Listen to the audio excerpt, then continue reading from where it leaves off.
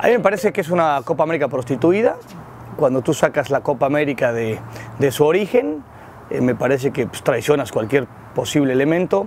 Cuando Haití participa de una Copa América, sin demeritar a Haití desde ningún punto de vista. Cuando México es cabeza de serie de una Copa América. Cuando Estados Unidos es cabeza de serie o cabeza de grupo de una Copa América. A mí me habla de una Copa América prostituida en todos los, eh, en todos los sentidos. Entiendo que 100 años se tienen que festejar no han ido alguna, eh, yo no me opongo a esa circunstancia. México lleva dos ediciones de Copa América arrastrando el prestigio, arrastrando el apellido, y de pronto hoy en esta Copa América prostituida, eh, eh, insisto, y quiero ser muy, muy enfático en ese tema, se abre una grandísima posibilidad. Ya se bajó Neymar porque va a los Juegos Olímpicos, o sea, muchas selecciones importantes seguramente no vendrán con el carro completo. Lo traes a Estados Unidos a temperaturas brutales en cuanto al tema de calor y la humedad, en, donde México tiene mucho mejor raja y mejor posibilidad de poder ¿no? desarrollarse que tal vez otras elecciones acostumbradas a otro tipo de, de climas. Entonces sí se abre una, una, importante posibilidad para que México este, pueda ¿no? de alguna forma limpiar, insisto, el, el, desastre que ha hecho en, en, las últimas dos ediciones, dando lástima y, siendo vergonzosas las actuaciones eh, eh, pasadas. ¿no? Eh, se abre la, la posibilidad, digo, insisto, en una Copa América para mí que sencillamente son 100 años y que hay que festejar, pero que este, me parece, insisto, eh, totalmente manoseada en todos sentidos. Cuando la Copa América no se juega en Sudamérica, que es su lugar de origen, para mí pierde casi, casi todo su valor.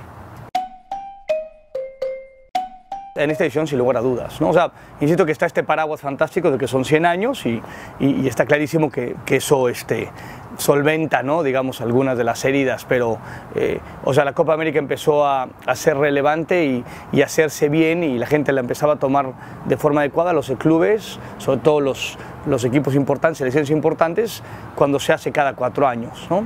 Eh, en nuestra época nos tocó mucho tiempo cada dos, ¿no?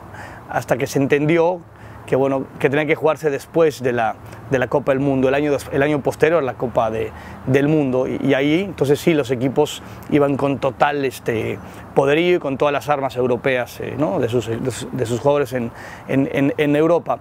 Y entonces, hoy que vuelves a meterla, digamos, después de, este, ¿no? de haberse jugado ya hace, hace un año, insisto, es como un, un traspiés. Eh, entiendo que se tiene que festejar, 100 años es para festejar, es el torneo más, más añejo de, de selecciones nacionales. Pienso que se puede haber festejado en un lugar mucho más... Este, eh, América, pues sí, sí, sí más, más, más, cercano al origen y a la querencia que, que, a este, que es un, es, para mí es una copa de oro este, remasterizada, ¿no? No, o sea, digo, la Copa América se, se, lleva a cabo, cuestiones comerciales o no, ¿no?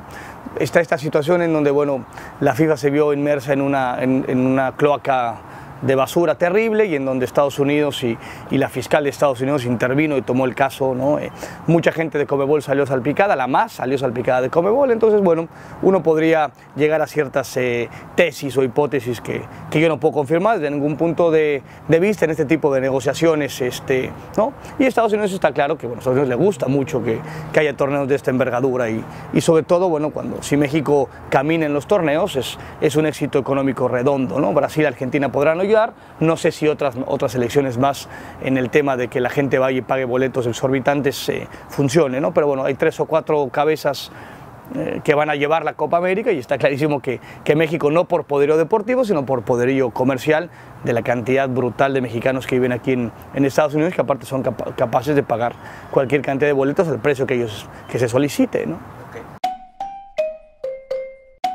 Sencilla no, no, sencilla no es, no, no, no lo será, digo, se te cruza Uruguay como primer partido, si llegas a pasar te puede tocar Argentina o Chile, ¿no? Eh, insisto, disminuidos y en, una, y en temperaturas brutales, con humedad eh, importante, México empata, digamos, ¿no? o sea, sus carencias deportivas las empieza a empatar con, con, con, fortalezas físicas que algunos otros equipos no, no tienen en cuanto a su raza. Fácil no será. Eh, nunca pronostico. México creo que digo, mejor que las ediciones pasadas. Nos juntamos nosotros y lo hacemos mejor. O sea, tampoco será tan complicado que México tenga una, una, una exhibición ligeramente superior a las dos basofias que ha hecho.